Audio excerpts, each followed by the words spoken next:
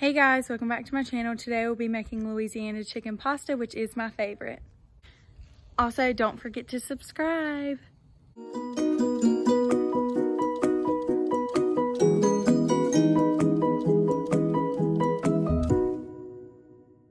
Okay, so first we're gonna mix all the sauce ingredients together.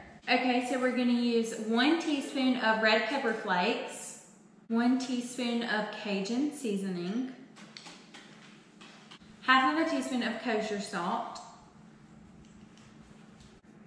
a fourth of a teaspoon of ground black pepper, two cups of heavy whipping cream, one cup of chicken stock, one tablespoon of cornstarch, and one cup of shredded Parmesan cheese. To mix these ingredients together and set them aside. Okay, so now I'm gonna take a large pot and fill it up with water and put a bunch of salt in it and cook the um, pasta a minute shy of what it says on the box. I'm gonna use farfalle pasta and it says to cook it for about 12 to 14 minutes, so I think I'll cook it about 11 minutes. So now in a bowl, I'm going to mix a fourth a cup of flour, half a cup of grated Parmesan cheese, cup of breadcrumbs, a fourth a teaspoon of black pepper, and a half a teaspoon of kosher salt. I'm gonna mix all these ingredients together. Okay, so now in a separate bowl, I'm going to whisk two eggs together.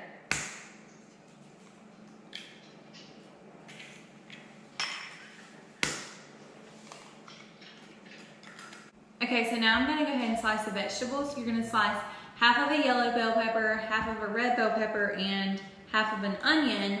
I only had a orange bell pepper on hand, so it'll work too. Okay, so I'm using chicken tenders and gonna bread the chicken, putting it in the breadcrumbs first, and then dipping it in the egg mixture and then putting it back in the breadcrumbs. So I'm looking back editing this and realizing that for some reason it didn't like record me cooking the chicken or vegetables. So what I did was I cooked the vegetables with two tablespoons of butter and some garlic powder. And I cooked those really good and then set them aside like off of that. And then I fried the chicken on low for a while in about like two inches of vegetable oil. So this is where we are now in the video. I hate that it didn't film that. I don't know why it didn't. also drained the noodles when they were done. So I'm sorry, guys. Okay, so now I chopped up the chicken on a cutting board and set it aside. Okay, so now that the chicken is done, I'm going to pour the sauce mixture in with the noodles and also put the vegetables in there.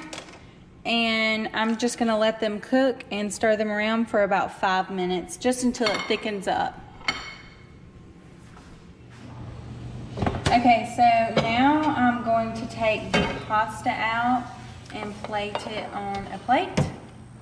Get some chicken, and all you do is layer the chicken on top.